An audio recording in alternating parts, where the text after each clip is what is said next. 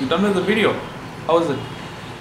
So before you go uh, and roast me down there in the comment section, let me tell you that the RC390 had a bad launch, obviously, uh, as you saw in the video. But then the way it caught up and overtook the Ninja 300 and the Yamaha R3, uh, it, it shows the true power of the RC390. So anyway, let's keep this aside. In the coming episodes, we'll be pairing up bikes and putting them side by side and testing them out in all the conditions. Not only the acceleration and braking as we did here, you know, comfort, mileage, and all the other aspects that you actually look at before buying a motorcycle.